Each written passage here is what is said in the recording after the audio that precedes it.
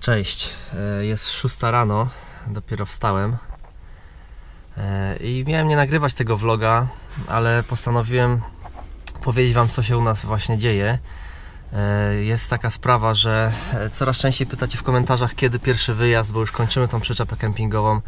No i pytacie, gdzie wyjeżdżamy i kiedy i, w ogóle co, co planujemy. Ja tak staram się nie mówić na razie na kanale, co się u nas dzieje, ale chodzi o to, że trochę zdrowie Szymona jest e, w kiepskim stanie. Ja teraz jestem w tym, w Poznaniu. To jest szpital i tutaj właśnie Szymek e, trafił na badania na kilka dni.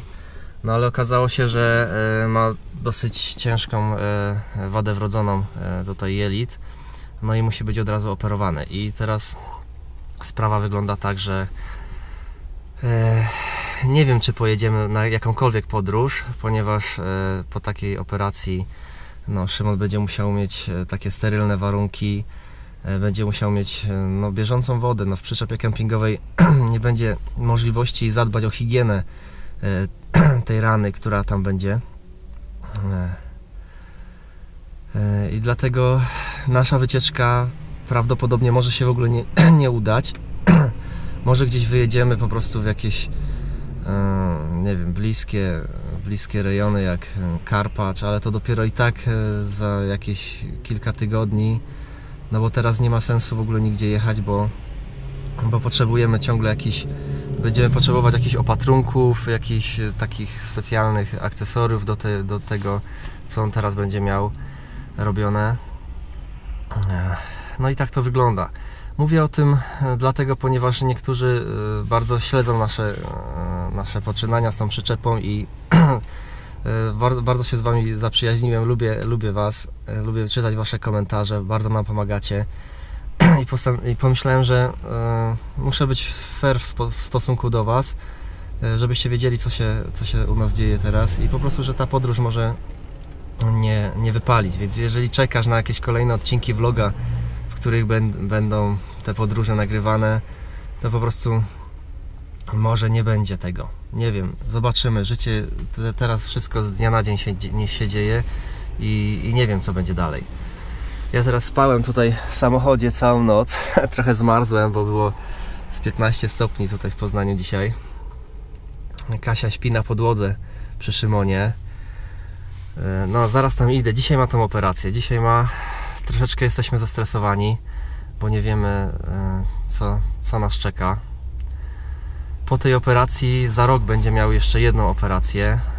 Tak powiedzieli e, chirurdzy. E, No i nasze życie po prostu się troszeczkę odmieniło o 180 stopni. No, ciężko się mówi. Ciężko się mówi w takich skrajnych sytuacjach. Ciężko się nagrywa vloga. Nie chciało mi się włączyć kamery, ale chcę być. Chcę, żebyście wiedzieli, że ta podróż po prostu nie wypali. I no wiem, zawiodłem trochę Was. To nie, no w sumie to nie jest nasza wina. No, takie jest życie, że czasem ktoś zachoruje e, troszeczkę ciężej, troszeczkę lżej, ale zawsze zachoruje. No i plany się zmieniają.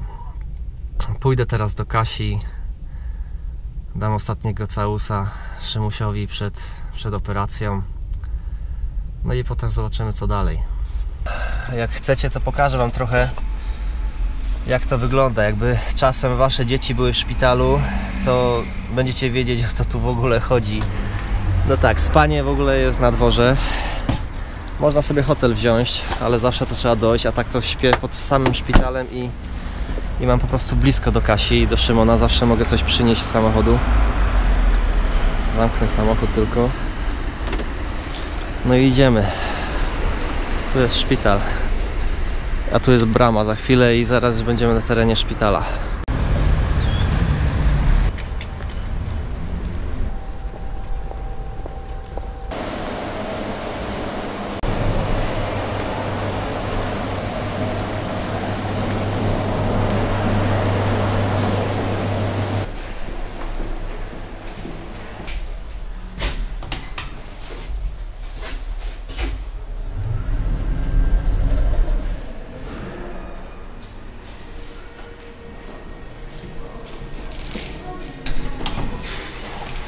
Cześć, Kasiunia akurat jest. I właśnie Cześć. czekamy na ciebie, bo masz wykąpać Szymona. Mam wykąpać przed operacją? operacją. Ojej. Tu jest Szymusia łóżko. Są ogólnie trzy osoby na, na pokoju. I tak to wygląda. No i mamy kolorowe kwiatki za szybą.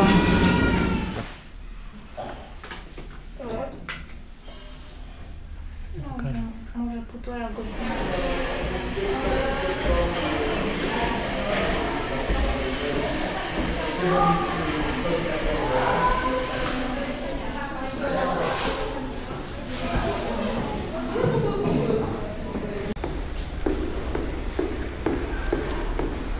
Szymusia wykąpałem. Teraz się idę przejść, trochę oddychnąć świeżym powietrzem. Będzie ostatni operowany, ponieważ jak na złość kurczę, dostał zapalenia gardła i, i zachorował trochę.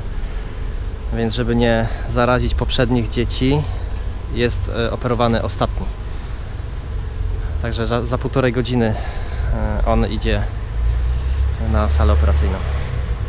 Tak sobie teraz myślę e, o całym życiu, jak człowiek nie dostrzega tego, że jest zdrowy, że e, i tak jakoś siedzi w domu i tak ciągle marzy, marzy, ale nic z tym nie robi. To dopiero się dostrzega, jak, jak jakiś problem się pojawia, jak zdrowia nie ma. Dlatego spełniajcie swoje marzenia. Jak, jak naprawdę macie ochotę coś zrobić, to róbcie to teraz, bo potem może być za późno.